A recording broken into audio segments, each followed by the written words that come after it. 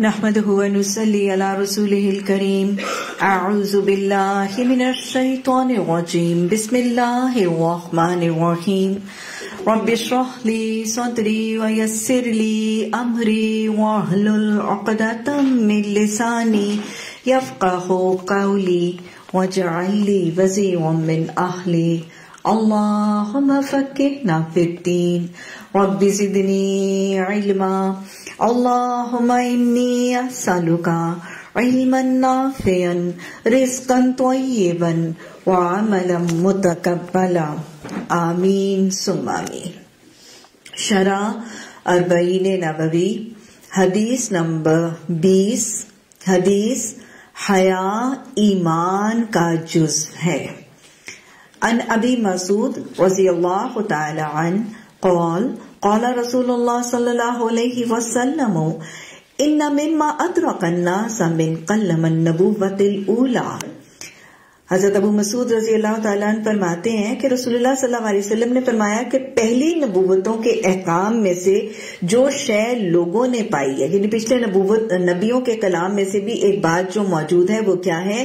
اذا لم تستحی فسنا ما شئتا کہ جب تجھ میں حیا نہ رہے۔ ازا جب لم نہیں تستحی، تجھ میں حیا رہے فسنا معاشیتا تو جو چاہے کر۔ بہت ہی اہمیت کی حدیث ہے اور ہمارے دین کا ایک بہت اہم اور بنیادی پیغام یہ کنوے کر رہی ہے۔ اور سب سے پہلی بات یہ دیکھ لیجیے کہ یہ حدیث حضرت ابو مسعود رضی اللہ تعالیٰ عنہ کے حوالے سے ہے۔ حضرت ابو مسعود رضی اللہ تعالیٰ کا واقعہ اگر ہم دیکھیں ان کے قبول اسلام کا واقعہ، کیونکہ راویان کو پہچاننا بھی بس اوقات بہت ضروری ہوتا ہے کہ وہ صحابی جو حدیث روایت کر رہے ہیں، ان کی زندگی کے حالات کئی دفعہ ہم جانیں تو بھی حدیث کو سمجھنا آسان ہوتا ہے۔ بہرحال، یہ نبی صلی اللہ علیہ وسلم کے بہت جلیل القدر صحابی ہیں اور بہت سی احادیث ان سے مروی ہیں۔ ان کے قبول اسلام کا واقعہ بڑا خوبصورت سا آتا ہے۔ کہ اللہ کے رسول صلی اللہ علیہ وسلم جب مدینہ تشریف لے گئے تو اس وقت ابھی یہ جوان تھے اور انہوں نے اسلام قبول نہیں کیا ہوا تھا۔ اور مدینہ کے مسافات میں ایک بستی میں، قبیلے میں یہ آباد تھے اور آپ صلی اللہ علیہ وسلم اپنے صحابہ کرام کے ساتھ سفر پہ تشریف لے گئے۔ تو آپ نے رستے میں آپ کو کچھ پیاس اور کچھ بھوک نے ستایا۔ تو آپ نے دیکھا کہ ایک بکریوں کا ریوڑ ہے اور اس کی نگرانی کرنے والا ایک رائی ہے۔ اور وہ رائی کون تھا؟ حضرت عبداللہ بن مسعود رضی اللہ تعالیٰ رائے تو اس وقت نوجوان تھے، اسلام قبول نہیں کیا بات اور بکریوں کی چرواہے کا کام کر رہے تھے۔ تو آپ صلی اللہ علیہ وسلم نے ان سے کہا کہ مجھے کچھ اپنی بکریوں کا دودھ جو ہے وہ دے دو۔ تو انہوں نے کیا کہا؟ انہوں نے کہا کہ یہ بکریاں میرے پاس، میری بستی کے لوگوں کی امانت ہے۔ آپ دیکھیں کہ دو دو چیزیں اس اس صحابی رسول صلی اللہ علیہ وسلم میں نظر آتی ہیں قبول اسلام سے پہلے۔ اور میں نے جب یہ واقعہ پڑھا تو مجھے ان دو صفات کی اہمیت کا احساس ہوا کہ یہ وہ دو صفات ہیں جو مومنوں کی صفات ہیں۔ اللہ نے سورہ مومنون میں بھی مومنوں کی صفات فرمائی ہیں والذین علی اماناتہم وعہدہم راؤمون وہ اپنی امانتوں اور اپنی وعدوں کا پاس کرتے ہیں۔ تو مومن کی صفت ہے کہ وہ امانت میں خیانت سے بچتا ہے اور مومن کی صفت ہے کہ وعدے میں بدہدی سے بچتا ہے۔ اور میرا خیال ہے آپ سبھی جانتے ہیں کہ بخاری اور مسلم کی متفق علیہ حدیث میں اللہ کے رسول صلی اللہ علیہ وسلم نے منافقوں کی جو صفتیں بتائی ہیں، ان چار صفتوں میں سے صفتیں کیا ہیں؟ ازا حدثہ قذبہ جب بات کرتا ہے تو جھوٹ بولتا ہے۔ ازا آحدہ وعدہ کرتا ہے تو غدرہ یا اخلفا توڑ دیتا ہے، اس کو پامال کر دیتا ہے۔ ازا تو منا جب امانت دیا جاتا ہے تو خانہ خیانت کرتا ہے۔ اور پھر کیا ہے؟ ازا خاصما فجرا جب لڑائی کرتا ہے تو وہ پھٹ پڑتا ہے بد زبانی کرتا ہے۔ اور آپ نے اس حدیث میں یہاں تک فرمایا کہ چاہے وہ شخص نماز پڑھتا ہے، روزہ رکھتا ہے اور زکوٰۃ دیتا ہے۔ یعنی اگر ایک کلمہ گو شخص نماز، روزہ، زکوٰۃ پڑھنے کے ساتھ یہ چار کام کر رہا ہے تو حدیث کی روح سے وہ پکا منافق ہے۔ جہاں تک وہ ان صفات کو نہیں چھوڑتا، اور جیسے جیسے وہ صفات کو چھوڑتا جاتا ہے، اس کے اندر نفاق کا رنگ گھٹتا جاتا ہے اور ایمان کا رنگ بڑھتا جاتا ہے، لیکن جب تک ایک صفت بھی رہتی ہے، اس کے اندر نفاق کا ایک عنصر اور ایک کمپونیٹ موجود رہتا ہے۔ تو آپ دیکھیں کہ مومنوں کی صفت اللہ نے سورہ مومنون پہ بتائی ہے کہ وہ اپنے وعدوں اور اپنے عہدوں کا پاس کرتے ہیں۔ مومن کی صفت یہ دو صفات اور یہ دو صفات ایمان کا ذریعہ بھی بن سکتی ہے ایمان لانے کے بعد یہ دونوں صفات ہوں گی تو ایمان مکمل ہے اور ایمان لانے سے پہلے یہ دو صفات ہوں گی تو ایمان کا امکان بڑھ جائے گا۔ حضرت عبداللہ بن مسعود کے ہاں یہ دونوں صفات نظر آتی ہے جب نبی صلی اللہ علیہ وسلم نے بکریوں کا دودھ مانگا تو انہوں نے کیا کہا؟ انہوں نے کہا، یہ بکریاں جو ہیں وہ میرے پاس میری بستی کے لوگوں کی امانت ہے. چرواہا ہے نا؟ اور وہ بکریاں لے آتے تھے امانت اور پھر میرا وعدہ ہے کہ میں ان میں کسی قسم کی خیانت بھی نہیں کروں گا اور ان کو صرف چراؤں گا اور ان کا دودھ دوئے بغیر ان کو واپس تمہارے پاس سلامتی سے پہنچا دوں گا۔ تو بنیادی طور پر دو کیریکٹرسٹکس ہیں جو قبول اسلام سے پہلے ہیں اور یہ ایمان کا ذریعہ ہی بن گئے۔ آپ صلی اللہ علیہ وسلم نے اتنی امانت اور اتنی عہد کا پاس دیکھا تو آپ صلی اللہ علیہ وسلم نے پھر کیا کہا؟ آپ نے کہا کہ اچھا پھر وہ بکری دے دو جس کے تھن میں کوئی دودھ نہیں ہے۔ یعنی جس کے تن خشک ہے نا پھر وہ بکری دے دو، کیونکہ ظاہر ہے اس میں تو دودھ ہی نہیں ہے اور اس میں نہ کوئی امانت ہے، نہ کوئی بدہدی ہوگی۔ اور پھر حضرت عبداللہ بن مسعود رضی اللہ تعالیٰ نے نبی صلی اللہ علیہ وسلم کے دستے مبارک سے یہ معجزہ دیکھا کہ آپ نے وہ بکری جس کے تھن خشک تھے، آپ نے اپنا دستے مبارک اس کے تھنوں پر لگایا تو اس کا، اس کے تھن دودھ سے بھر گئے۔ اور پھر آپ نے وہ دودھ نکالا، خود بھی پیا، جو ساتھ ساتھی تھے ان کو بھی پلایا۔ اور حضرت عبداللہ بن مسعود رضی اللہ تعالیٰ نے بھی وہ بکری کا دو، یہ خیانت بھی نہیں تھی، یہ بدہتی بھی نہیں تھی۔ اور یہ کیا تھا؟ یہ نبی صلی اللہ علیہ وسلم کی زندگی میں اللہ کی طرف سے دیا ہوا ایک عارضی سا موضوع تھا۔ یہ ہم سب جانتے ہیں نا کہ حیات طیبہ میں نبی صلی اللہ علیہ وسلم کو کوئی مستقل موضوع نہیں دیا گیا تھا۔ پچھلے نبیوں کو مستقل موضے دیے گئے تھے۔ حضرت عیسیٰ علیہ السلام کو شفا کا موضع دیا گیا تھا۔ حضرت موسیٰ علیہ السلام کو وہ ید بیضا اور اصا کا موضع دیا گیا تھا، لیکن نبی صلی اللہ علیہ وسلم کو کوئی پرماننٹ موضع نہیں دیا گیا تھا۔ بس اسی قسم کے موضے عارضی طور پر آپ کی زندگی میں رونما ہوتے رہتے تھے۔ کتنی دفعہ ہم نے وہ واقعات دیکھے ہیں کہ اللہ کے رسول صلی اللہ علیہ وسلم کا اگر وہ واقعہ موضے کا دیکھیں کہ آپ سفر پر ہیں اور سفر میں کیا ہوا کہ پانی نہیں ہے، پڑاؤ ہے، پانی نہیں ہے، نماز کا وقت آیا اور صحابہ اکرام فرماتے کہ ہم ایک چھوٹا سا برتن لائے اور اس میں تھوڑا سا پانی تھا۔ تو آپ نے کیا کیا؟ آپ صلی بخاری کی حدیث ہے۔ آپ صلی اللہ علیہ وسلم میں راوی فرماتے ہیں کہ آپ اپنے اپنے ہاتھ اور اپنا دستے مبارک اس پانی کے پیالے میں ڈالا اور آپ کی مبارک انگلیوں سے پانی ایسے نکل رہا تھا جیسے پانی کے چشمے ہیں۔ اور فوارے کی طرح پانی آپ کی انگلیوں سے نکل رہا تھا۔ اور صحابہ کہتے ہیں کہ پھر ہم سب نے اس تھوڑا سا جو پیالہ پانی کا تھا، ہم نے سب نے اس سے وضو کیا۔ اور راوی سے پوچھا گیا کہ تم لوگ کتنے تھے؟ تو ایک حدیث میں آتا ہے کہ انہوں نے تعداد بتائی کہ ہم ہم اسی سے زیادہ لوگ تھے۔ تو یہ اس قسم کے موجزے عارضی طور پر آپ کو دیے گئے۔ تو جب یہ راوی نے حضرت ابو مسعود رضی اللہ تعالیٰ نے یہ موجزہ دیکھا کہ نبی صلی اللہ علیہ وسلم کے دستے مبارک سے وہ بکری جس کے تھن خشک تھے، آپ کے دستے مبارک سے اس کے تھنوں میں دودھ اتر آیا تھا، تو یہ موجزہ دیکھنے کے بعد انہوں نے اسلام قبول کر لیا تھا۔ خود بھی اسلام قبول کیا اور اپنے قبیلے والوں کو بھی جا کے نبی صلی اللہ علیہ وسلم کے اس موجزے کا تعارف کیا اور وہ بھی اسلام، بہت کثیر لوگ ان کے قبیلے میں سے دائرہ اسلام میں داخل ہوئے۔ بہرحال یہ ان کی صداقت اور امانت جو ان کے قبول اسلام سے پہلے تھی۔ یہ ہوتا ہے نا وہ سلیم فطرت شخص جس کے دل کے اندر پہلے ہی حق کی پہچان ہوتی ہے اور ایمان کی تڑپ ہوتی ہے۔ جب ایمان کے کوئی وسیلے اور اسباب بنتے ہیں تو اللہ سبحانہ تعالیٰ دل کھول بھی دیتا ہے۔ اللہ سبحانہ تعالیٰ ہمیں بھی ایمان کی سلامتی عطا فرمائے۔ اللہ ہمیں ایمان کی سلامتی عطا فرمائے اور اللہ ہم سب کا خاتمہ ایمان پر فرمائے اور اللہ سبحانہ تعالیٰ ہماری اولادوں کے بھی ایمان اور اسلام کی حفاظت فرمائے اور اللہ ہمیں عہدوں کی اہمیت اور اللہ ہمیں امانتوں کا پاس رکھنے کی توفیق عطا فرمائے۔ تو حضرت ابو مسعود رضی اللہ تعالیٰ کی روایت سے یہ حدیث بڑی خوبصورت سی ہے اور اس کا پہلا حصہ تو یہ ہے کہ پچھلے نبیوں کے احکامات میں بھی جو چیز پائی گئی ہے یعنی اس حدیث میں جو بات نبی صلی اللہ علیہ وسلم نے بتائی ہے، وہ راوی بتاتے ہیں کہ آپ صلی اللہ علیہ وسلم نے فرمایا کہ یہی بات اور یہی احکامات پچھلے نبیوں کی تعلیمات میں بھی تھی گویا ایک بات کیا پتا چلتی ہے کہ دین ہمیشہ کون سا رہا ہے؟ ان دین عند اللہ اسلام دین ہمیشہ ایک ہی رہا ہے۔ حضرت آدم علیہ السلام سے لے کے محمد صلی اللہ علیہ وسلم تک دین ہمیشہ اسلام ہی رہا ہے۔ کیونکہ رب ایک ہے۔ کل اللہ احد، اللہ ایک ہے۔ جب اللہ ایک ہے تو اس کے احکامات بھی ایک ہے اس کا تعلیم، اس کی تعلیمات، اس کے حدود، اس کے قیود، اس کے قوانین، اس کے عقائد، وہ سارا کچھ ایک ہے۔ تو دین ہمیشہ ایک ہی رہا ہے۔ اور وہ دین کون سا ہے؟ اسلام۔ اور ہر نبی کے پیروکاروں کا نام کیا ہوتا رہا ہے؟ ہمیشہ نحن لہو مسلمون ہی ان کا نام ہوتا رہا ہے۔ اگر یہودیوں نے اپنا نام یہودی اور عیسائیوں نے اپنا نام عیسائی یا نصارہ رکھا ہے تو یہ ان کی من گھڑت منہ شگافیاں تھی یہ اللہ کے دین کا طریقہ نہیں تھا۔ ہر نبی کا پیروکار مسلم ہی رہا ہے۔ اللہ ہمارے اسلام اور ایمان کی حفاظت فرمائے اور اللہ ہمیں مسلم ہی بن کر زندگی گزارنے کی توفیق عطا فرمائے۔ تو ایک بات تو یہ واضح طور پر پتا چل رہی کہ پچھلے نبیوں کی تعلیم بھی یہ تھی۔ اور پھر تعلیم کیا تھی؟ حیا کی تعلیم۔ حیا کی تعلیم ہر نبی نے اپنے دین میں جو ایک بات کامن سب نے کہی، وہ کیا ہے؟ آپ صلی اللہ علیہ وسلم نے بھی فرمایا تھا نا کہ ہر دین کا ایک بنیادی وصف ہوتا ہے، ایک بنیادی ٹیمپرمنٹ ایک بنیادی صفت، ایک بنیادی کریکٹرسٹک ہوتی ہے۔ ہر دین کا ایک بنیادی وصف ہوتا ہے اور اسلام کا بنیادی اور بیسک ٹیمپرمنٹ اور صفت کیا ہے؟ حیا۔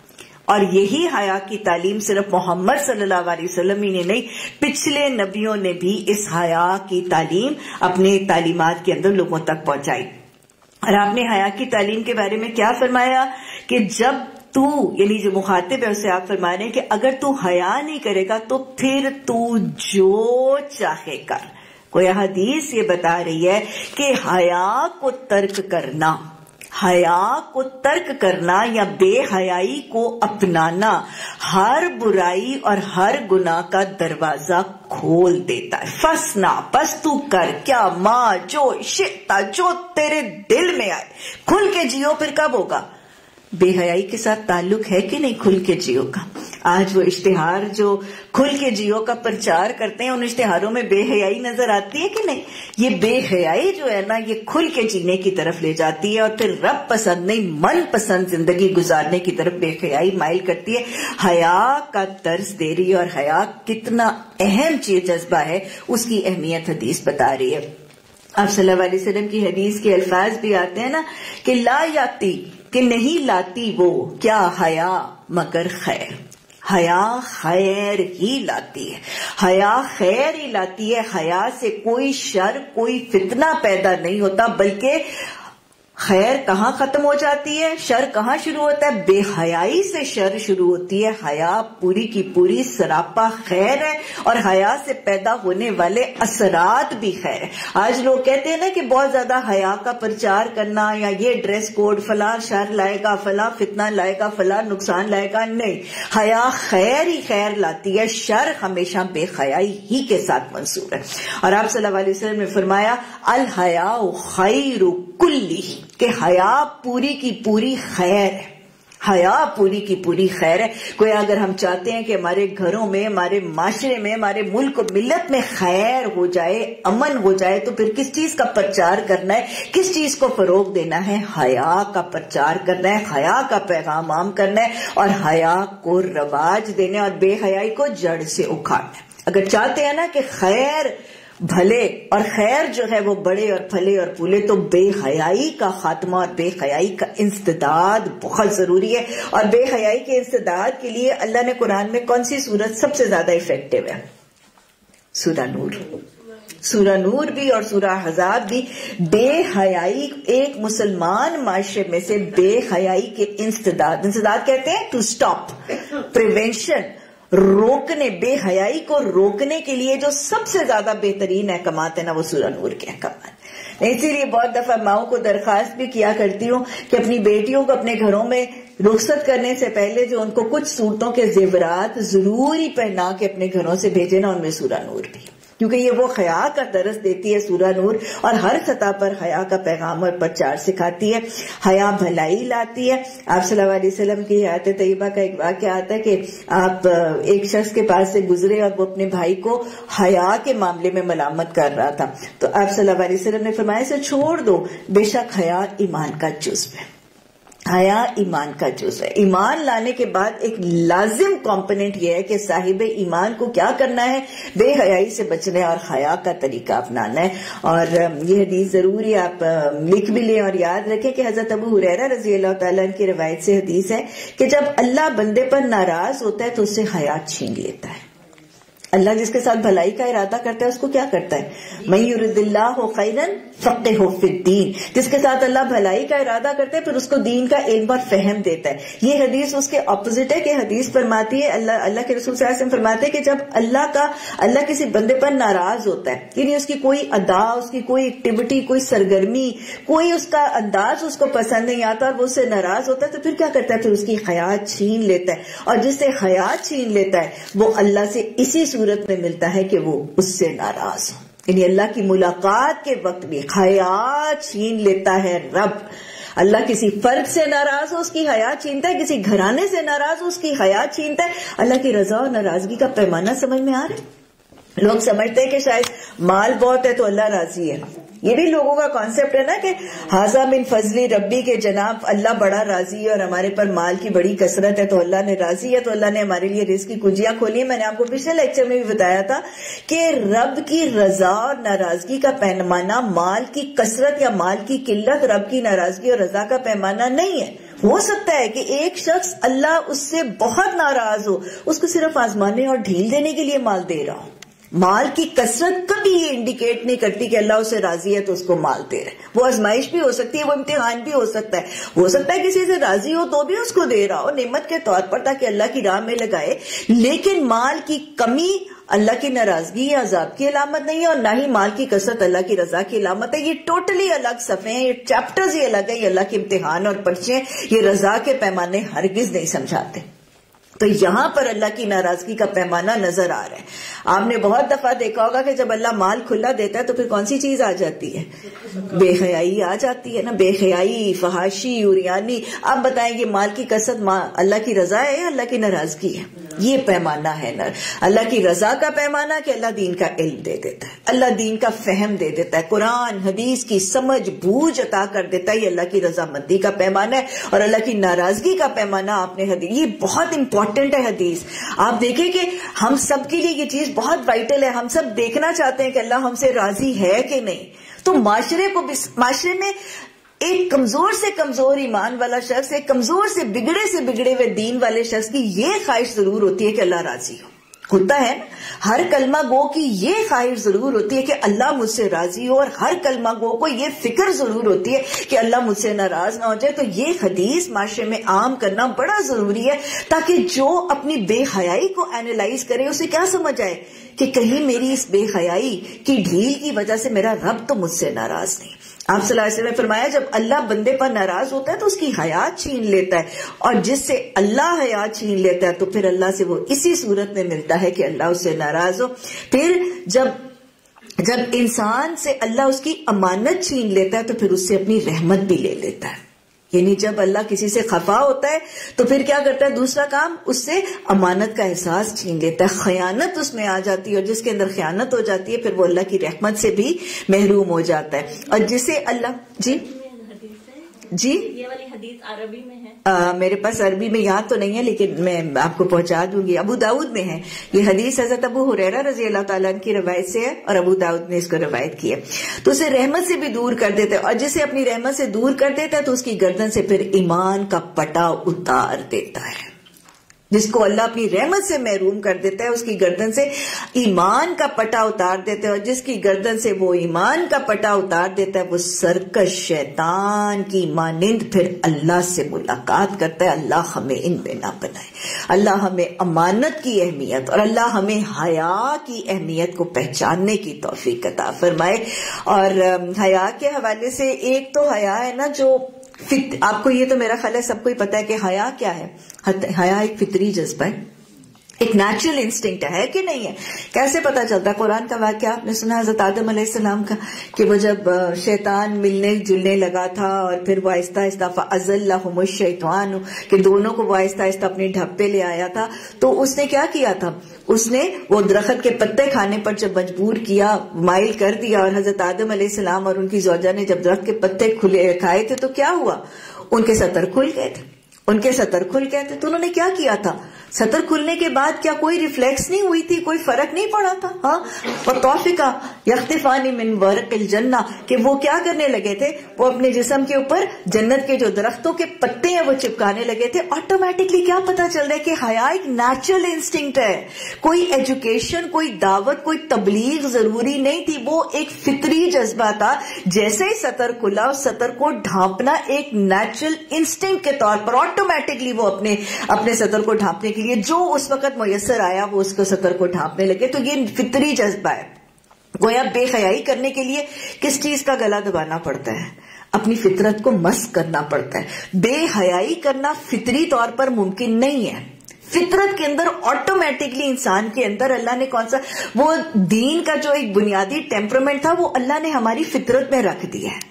ہمیں مشقت کر کے حیا نہیں اپنانی پڑتی بلکہ اپنی فطرت کا گلا گھونٹ کے غیر فطری عمل کر کے بے حیائی کرنی پڑتی ہے۔ سمجھ میں آ رہی ہے بات؟ آج کل تو بے حیائی بڑی آسان اور حیا کو اپنانا مشکل ہو گیا کیونکہ ہم فطرت کو اصل میں بھلا بھی چکے ہیں اور فطری جذبات کا ہم گلا دبا بھی چکے ہیں۔ فطرت کے مطابق چلنے والوں کے لیے حیا کو اپنانا بڑا آسان ہے۔ حیا کو اپنانا آسان ہے۔ اور ویسے بھی اس واقعے سے یہ بھی پتا چلتا ہے کہ شیطان جب پہلا حملہ کرتا ہے، پھر کیا لیتا ہے؟ دین کا بنیادی وصف لے لیتا ہے نا۔ شیطان کا پہلا حملہ کیا ہوتا ہے؟ حضرت آدم علیہ السلام پر اور حضرت حبا پر جو پہلا حملہ شیطان نے کیا تھا، وہ کیا کیا تھا؟ ان کا ان کا لباس چین کے ان کو بے حیائی کی طرف مائل کیا تھا۔ شیطان کا پہلا حملہ بے حیائی ہے۔ اور شیطان کا پہلا حملہ بے حیائی کیسی ہے؟ لباس کو چھیننا۔ لباس کے احکامات اس لیے اتنے اہم ہیں اور لباس کے احکامات کو جب بار بار کھول کے سورہ راف میں، نور میں، احزاب میں بار بار لباس کا ڈریس کوڈ، ایک مسلمان خاتون کے لیے ڈریس کوڈ، ایک نان مسلم ایک مسلمان مرد کے لیے ڈریس کوڈ، بالغوں کے لیے ڈریس کوڈ جب بار بار سمجھایا جاتا ہے تو لوگ اس میں کئی دفعہ یہ اعتراض کرتے ہیں کہ جی یہ دین پڑھانے والے، یہ قرآن پڑھانے والے بڑا ہی تشدد کرتے ہیں اور پتہ نہیں لباس پہ اتنا کیوں سٹریس کیا جاتا ہے اور لباس تو بندے کا ایک اپنا پرسنل سا ایشو ایشو ہے، ہمارے معاملات لوگوں کے ساتھ ٹھیک ہونے چاہیے۔ ہماری نماز اللہ، نماز، روزہ، زکوٰۃ حاجی اللہ کے حق ہیں، یہ ٹھیک ہونے چاہیے۔ ہمارے اللہ کے بندوں کے ساتھ معاملات، ہمارے اخلاق، ہمارے معاملات، ہمارا جھوٹ، سچ جو تمہاری ورلڈلی انوالومنٹس ہیں، یہ ٹھیک ہونی چاہیے۔ لباس تو بالکل ہمارا ایک پرسنل سا ایشو ہے۔ لباس تو بالکل ہماری ایک پرسنل زندگی کا معاملہ ہے۔ اس سے کیا فرق پڑتا ہے؟ اس سے میں کیا پہنوں یا کیا نہ پہنوں؟ میں کیسے اوڑوں میں کیسے نہ اوڑوں اس سے معاشرے کو کیا فرق پڑتا ہے؟ آپ دیکھ لیجیے کتنا فرق پڑتا ہے۔ دین کا پہلا وصف اور پہلا کیریکٹرسٹک حیا ہے۔ اور شیطان نے پہلی چیز جو ہے وہ بے حیائی کی طرف مائل کرنے کے لیے لباس چھینا تھا۔ لباس چیننا تھا اور لباس چیننے کے بعد سطر کھولا تھا اور سطر کھول کے بے حیائی کی طرف مائل کیا تھا۔ اور پھر بڑے بڑے دروازے کھل جاتے۔ ہیں یہ بڑے بڑے یہ حدیث بیسیکلی کنفرم ہوتی ہے آدم علیہ السلام کے واقعے سے بھی نا۔ آپ دیکھیں کہ پہلی چیز شیطان جو چھینتا ہے وہ وہ لباس چین کے بے حیائی کی طرف مائل کرتا ہے اور کیوں کرتا ہے؟ تاکہ وہ شخص جو بے حیا اور بے حجاب ہو گیا پھر اس کے لیے ہر گناہ آسان ہو جائے۔ پھر اس کے لیے ہر گناہ آسان ہو جائے، پھر وہ شیطان کا ترن والا بن جائے، پھر وہ اس کو اچک کے اپنے رستے پر لے آئے۔ اس لیے پہلا بار وہ کیا کرتا ہے؟ کیونکہ یہ حدیث نے بھی بتا دیا کہ جب حیا چھینے گی نا، تو پھر ہر گناہ کا دریچہ کھل جائے گا۔ اور ہر گناہ کا دریچہ کھولنے کے لیے شیطان پہلا وار یہ کرتا ہے کہ پہلے اس کا لباس چھینو۔ لباس چھینو کا تو حیا چھینے گی اور حیا کا جنازہ اٹھے گا۔ اور جب اس کی حیا کا جنازہ اٹھ گیا، تو پھر کیا ہوگا؟ یہ میرا ترن والا ہوگا، میں اسے جو مرضی چاہے اس کے نفس یہ کس کا غلام بن جائے گا؟ اللہ قرآن میں کہتا ہے نا، کیا تم نے اس شخص کو دیکھا جس کو، جو اپنے نفس کو جس نے خدا بنا لیا اپنے نفس کو خدا بنا لے گا، اپنی نفس کی پیروی کرے گا، اپنی نفس کی مرضی مانے گا، اور پھر میں اس کے نفس کو جہاں چاہے دائیں بائیں، جہاں تائیں موڑوں گا، توڑوں گا، جہاں مرضی لے جاؤں گا، اور یہ رب پسند نہیں، پھر یہ من پسند زندگی اپنائے گا، یہ حیا کی اہمیت ہے۔ یہ حیا کی اہمیت ہے۔ تو آپ دیکھ لیجیے کہ اللہ کی ناراضگی کی پہلی علامت کیا ہے؟ کہ وہ خیا چھینتا ہے اور شیطان کی شیطان کا پہلا حملہ کیا ہے کہ وہ لباس چھین کے اس کو کس کس کو کس سے ناراض کر دیتا ہے؟ شیطان کا پہلا حملہ لباس چھینتا ہے اور پھر رحمان کو اس سے ناراض کرتا ہے اور اس کو اپنے ڈھب پر لے آتا ہے۔ یہ اہمیت ہے لباس کے احکامات کی۔ اور یہ اہمیت ہے بے خیائی سے بچنے کی۔ اللہ ہم نے اس کی سمجھ توفیق عطا فرمائے۔ اور آپ دیکھیں کہ جب شیطان اگر اپنے معاشرے میں بھی دیکھیں، تو ہمارے معاشرے میں بھی شیطان نے آہستہ آہستہ لباس چھینا کہ نہیں چھینا؟ آپ دیکھیں کہ اگر آپ آج سے بیس سال پہلے دیکھیں، تو معاشرے میں کیا اتنی بے حیائی تھی؟ ہمارے ہمارے ٹی وی کے ڈرامے، ہمارے سیریل، ہمارے اشتہار، ہمارے سائن بورڈز اسکولوں میں، کالجوں میں کیا اتنی اپنے کالج کا زمانہ اگر یاد کریں تو آج کل کی کالجز اور یونیورسٹیز کا جو حال ہے، جو بے حیائی کا حال آج ہے، آج سے بیس سال پہلے کیا ایسا ہی تھا معاشرہ؟ نہیں تھا نا؟ آج سے بیس سال پہلے بے حیائی، فحاشی اور یعنی یہ جو کیفیٹیریاز ہیں اور جو ریسٹورانٹس ہیں اور یہ ہوٹلز ہیں اور یہ سب کچھ ہے، کسی سطح پر بے حیائی اس طرح نہیں تھی کہ جاب کا معاملہ تھا۔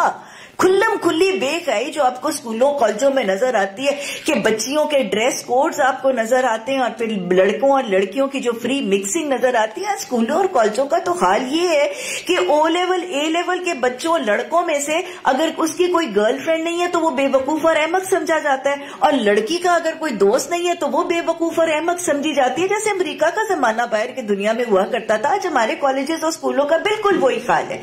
لیکن آج سے بیس سال پہلے اسکولوں کالج کالجز اور یونیورسٹیز کا یہ حال نہیں تھا کہ کیوں ہوا اور کیسے شیطان نے کیا۔ کیونکہ حیا کا جنازہ بھی آہستہ آہستہ ایسے ہی کھلا۔ آپ کو دونوں چیزوں کے درمیان ایک ڈائریکٹ پروپورشنل ریلیشن شپ نظر آئے گا۔ آپ اینالائز کر کے دیکھ لیجیے کہ جیسے جیسے حیا، جیسے جیسے لباس اترتا گیا، ویسے ویسے حیا چنتی گئی اور جیسے جیسے حیا چنتی گئی، ویسے ویسے برائیاں آتی گئی ایسے ہی ہوا ہے کہ نہیں ہوا؟ اگر اپنے اسکولوں اور کالجوں کا زمانہ دیکھیں تو کیا خیال ہے؟ بھلے چنگے پورے فل سلیوز شلوار کمیزیں فل سلیوز گلوں پہ، سروں پہ بھی بہت سو کے دوپٹے ہوتے تھے، لیکن اپنے کالج کے زمانہ اگر میں دیکھوں تو گلے میں دوپٹہ سب کا ہی ہوتا تھا۔ مطلب جو بالکل کھلم سے کلی ماڈرن سے ماڈرن بچی بھی تھی نا، وہ دوپٹہ ضرور لیتی تھی۔ اور کوئی سلیو لیس اس کا تصور نہیں تھا، لیکن وہ آہستہ آہستہ پہلے اس نے سروں کے دوپٹے اتارے۔ ہماری نسل کے اس کو، ہماری والدائیں جو ہیں، وہ تو سروں پہ بھی دوپٹے لیتی تھی۔ جو دین کا تص... یہ دین کے تصور سے نہیں تھا، یہ ایک سوشل نارم تھا معاشرے میں، ہماری نانیاں، دادیاں، ہماری مائیں، چاہے وہ دیندار تھیں، چاہے وہ نہیں بھی دیندار تھیں، چاہے قرآن کے ساتھ تعلق تھا، چاہے نہیں بھی تعلق تھا، معاشرے کے اندر یہ نام تھا کہ شریف گھروں کی خواتین جو ہیں، وہ سروں پہ دوپٹے ہی لیا کرتی تھی ایسا ہی ہوتا تھا۔ اور دوپٹہ جوڑے کا ایک لازم حصہ تھا۔ کبھی جوڑے دوپٹوں کے بغیر بھی بنے تھے۔ نہیں ہوتا تھا، کبھی نہیں ہوتا تھا۔ اور ہماری بڑی خواتین تو سروں پہ دوپٹے لیتی تھی، ہماری نسل کا اس نے سر سے دوپٹہ اڑوا دیا۔ اور پھر سر سے اڑوانے کے بعد اس نے کنڈے پہ ڈلوا دیا۔ اور پھر کندھے سے ڈلوانے کے بعد اس نے کیا کیا؟ سر سینا سارا کھول کھال کے پھر اس نے بازو آہستہ آہستہ اوپر کرا دیا۔ سلیو لیسز ہمارے اپنے کالج کے زمانے کے اندر، مجھے یاد ہے سلیو لیسز کا ایک ٹرینڈ شروع ہو گیا تھا۔ اور پھر بس اس کے بعد ہماری بچیوں کے اسکول کے زمانے میں پھر ٹانگوں کی طرف توجہ ہو گئی۔ اور آہستہ آہستہ یہ سارا کچھ۔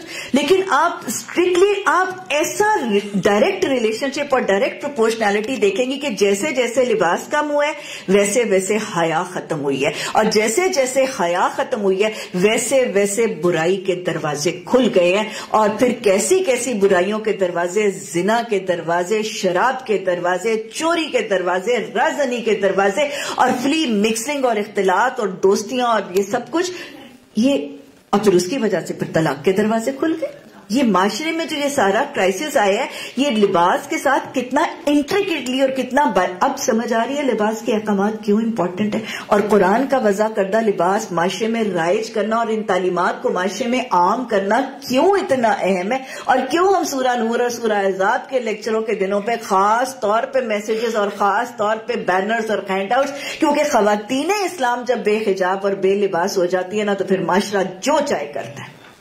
یہ بالکل، وہ کیفیت ہے۔ مجھے بتائیں کہ اگر آپ مشکین مکہ کا حال دیکھیں، تو مشکین مکہ کے اندر کیا چیز تھی؟ بے حیائی تھی نا؟ کتنی بے حیائی تھی؟ بے لباس ہو کے تو وہ طواف کرتے تھے۔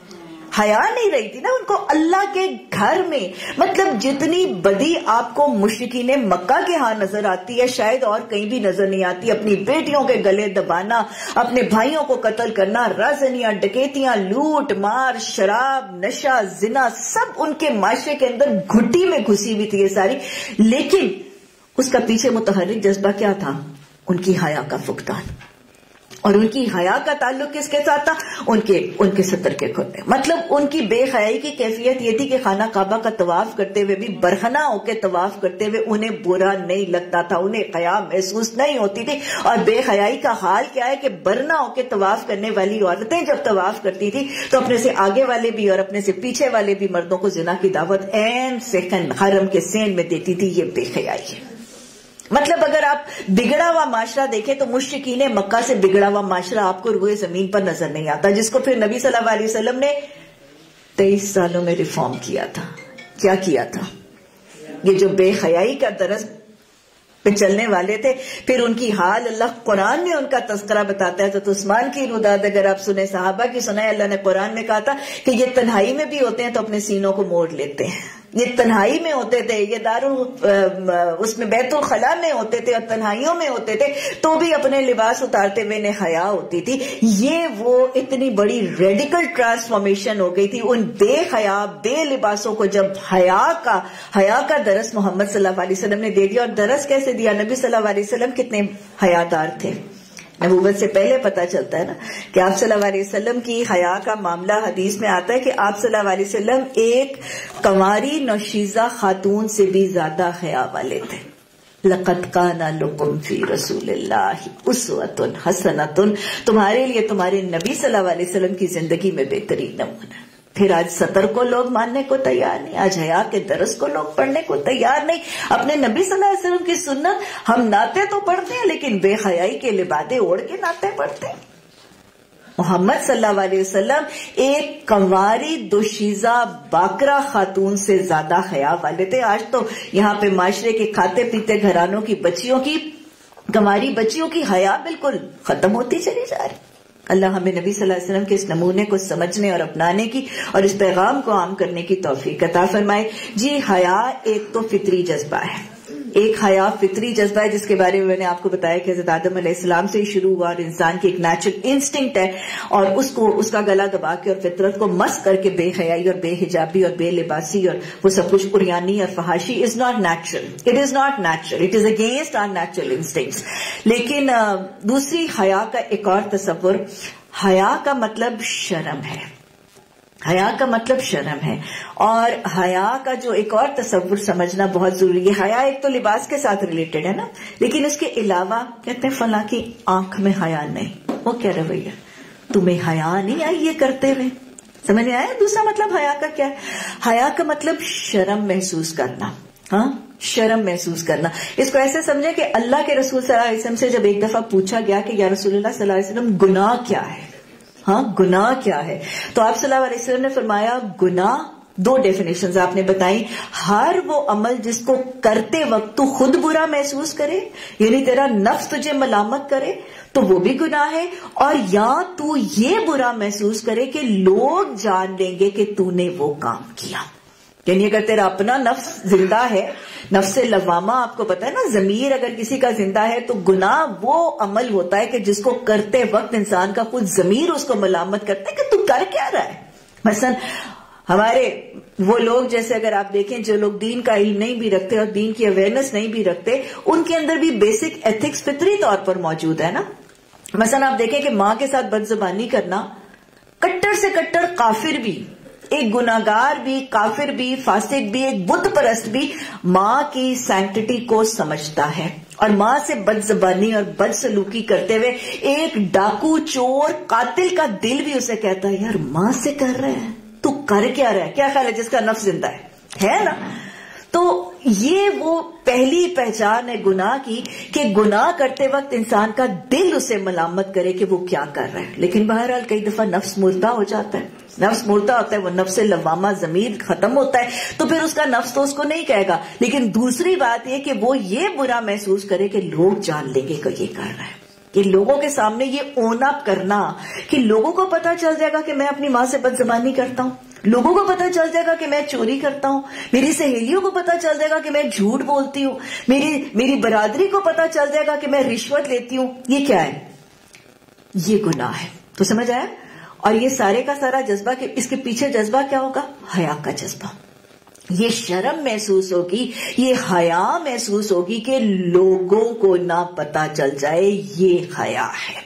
اور جب مثلا آپ کو میں حیا کا تصور یہ سمجھاؤں کہ ایک لڑکا یا ایک لڑکی جب کھلے عام کسی پارک میں یا کسی اور ریسٹورانٹ میں یا کسی ہوٹل میں وہ ڈیٹنگ کرتے ہیں، فلرٹنگ کرتے ہیں، تو اس کا حیا کے ساتھ کیا تعلق ہے؟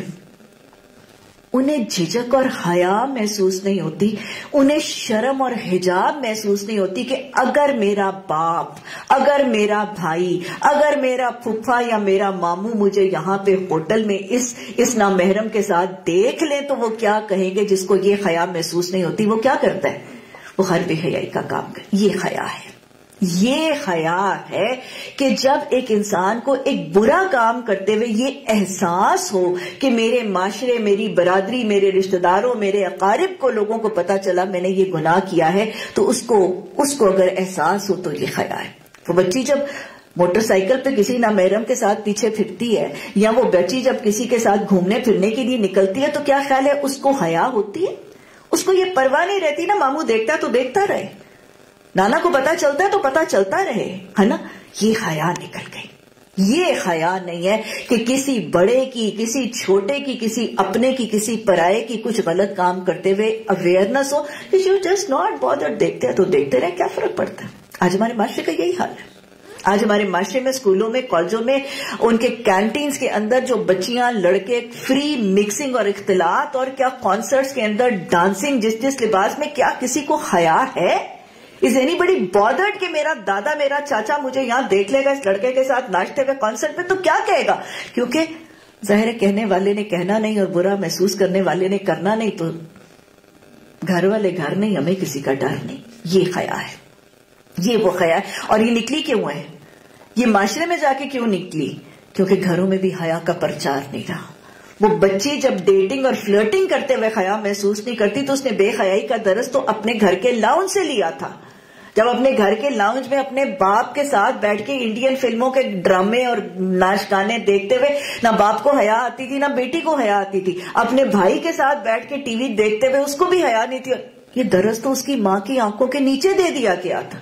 جب ہم اتنے بڑے قد آدم ٹی وی کے اوپر ہر فحاشی والا نظارہ اور ہر فحاشی والا ٹی وی اور ڈرامہ وہیں پہ بیٹا اور وہیں پہ ماں اور وہیں پہ باپ اور وہیں پہ بیٹی تو گھر کا جنازہ، گھر میں سے حیا کا جنازہ تو وہاں نکل گیا۔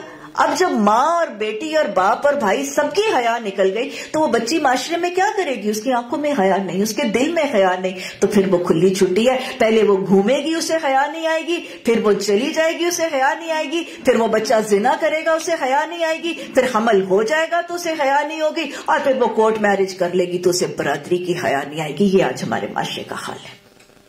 یہ آج ہمارے معاشرے کا حال ہے۔ تو اللہ سبحانہ تعالیٰ ہمیں حیا کی اہمیت سمجھائے اور اللہ ہمیں حیا کا پیغام اس معاشرے میں عام کرنے کی توفیق عطا فرمائے۔ اللہ لباس کے احکامات کو سمجھنے اور اللہ ساتر لباس کی تعلیمات اور سورہ عراف کے لباس التقوی کے پیغام کو اس معاشرے میں رواج دینے میں اپنا کردار ادا کرنے کی توفیق عطا فرمائے۔